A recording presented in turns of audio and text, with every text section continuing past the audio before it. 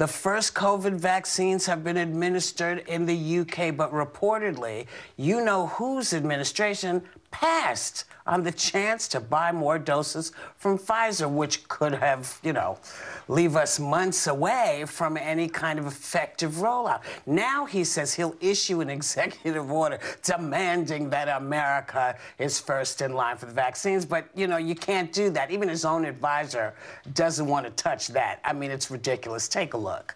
Can you explain this executive order the president is going to be putting out? Frankly, I don't know. And frankly, I'm staying out of this, so I can't comment. I, you don't I literally know? don't know. But you're the chief science advisor for Operation Warp Speed. Our work is, is, you know, rolling. We have plans. We feel that we can deliver the vaccines as needed. So I, I don't know exactly what, what this order is about. He he doesn't know. He doesn't know what the man is talking about. He can't figure out what's going on. I mean, I mean, he just he's like, I don't know. It has nothing to do with me. I'm just I'm on warp speed, man. That's what I do. That talk to me about that. That's what I handle. About this other stuff, I I don't know. I don't know, sir. I mean. eh, Now it's just getting to be ridiculously funny when these things happen because it's like no one knows what's going on. I mean, again, I ask this question every day.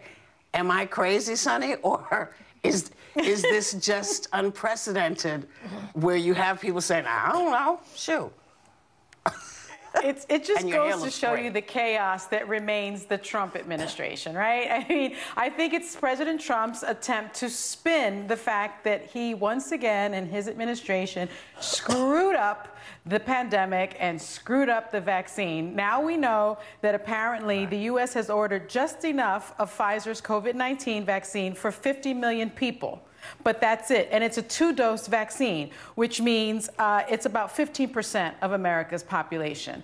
And we also know that Pfizer didn't take American money to develop this, right? They developed it on their own. They weren't really part of Operation Warp Speed, like Ivanka Trump tweeted out.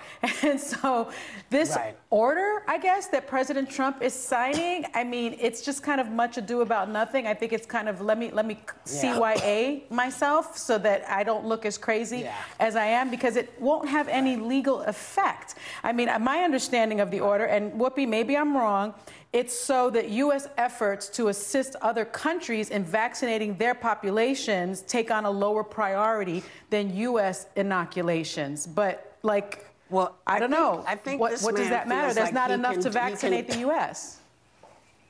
He, do, he feels he can demand, because he, he's made an executive order, that he can demand people change their legal obligations. They made legal, legal obligations with other people that don't have anything to do. Mm-hmm. They're a private company. The, the government can't demand that Yep. they do Americans first. It's ridiculous. What do you think of this, Sara? Is it, it, it's, it, is it just getting crazier and crazier? Well, it's still getting crazy and crazier. We have a little bit left of 2020, so there's time.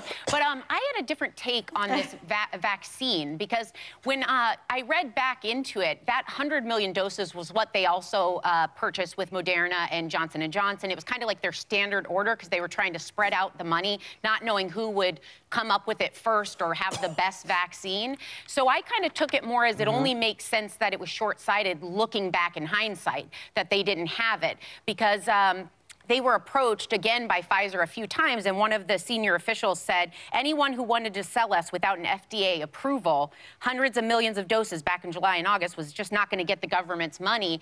And so I kind of see that I now looking back, I wish they had purchased more, but that was kind of their standard order. Uh-huh. I'm also grateful because that FDA approval should come through this week, which will be great. But when we're seeing Britain have their first vaccinations, I'd rather be on this side of it because the FDA equivalent, British's, uh, the, the British equivalent to the FDA, they have a different vetting uh-huh, process and uh-huh. they take some of the information from the pharmaceutical companies themselves, which to, to me is a bit of a conflict of uh-huh. interest.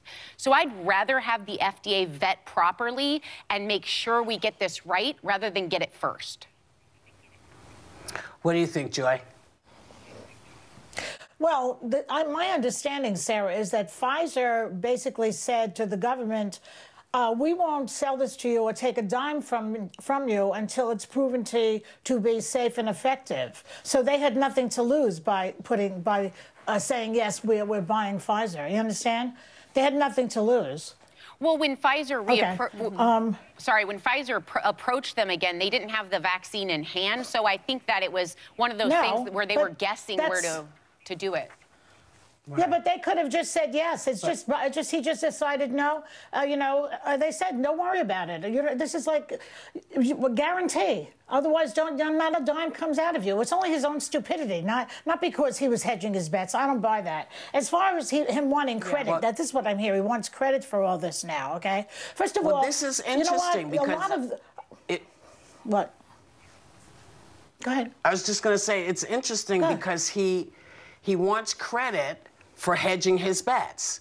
Now, he said that he was going to make sure this got done. He thought this would be done, uh, you know, a little bit sooner, but around this time frame. But he didn't actually believe that, or he would have put the money as a down payment.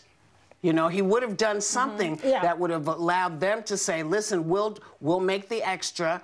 You know, we're we're going to have to make sure that whatever you make is is on point and all of that stuff." But he didn't do that, which is kind of crazy. And now, before we do anything else, we have a legal note. Sunny, read your legal note, please. Yes. Thank you. The Trump administration has denied reports of turning down an offer to buy more doses of the Pfizer coronavirus vaccine. They said You know, can I just didn't say? happen. Can I just But say? they always say this, that didn't this, this whole, this whole, this whole pandem- pandemonium pandemic that we're in. We're in a pandemic pandemonium. It's largely his fault. right. right. He's the one who said, "Let's have these Yeah. rallies. Don't wear your mask." He puts Atlas, that quack, and he puts Fauci in the back of the bus and Fauci in the front. Still have it. He's still having. Yeah. He knew in January because he told it to Woodward In that this was a dangerous yes. vaccine. And then he public January, Yeah. then went out there and publicly said it's going to disappear. This is the Trump pandemic, okay? Let's call it that. Mm-hmm. Maybe The it's a class action COVID-19. suit. Maybe it's a class action suit for all the folks who no feel credit that for their loved ones passed for for for no good reason when he could we could have been in front of this in January.